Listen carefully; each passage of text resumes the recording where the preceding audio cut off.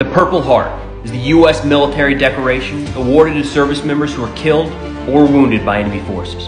The medal was created in 1932, but could be backdated, so veterans from previous conflicts had to apply and show proof that their wounds needed medical treatment. Since World War I, over 2 million Americans have been eligible for the Purple Heart, with over 47,000 in Iraq and Afghanistan alone.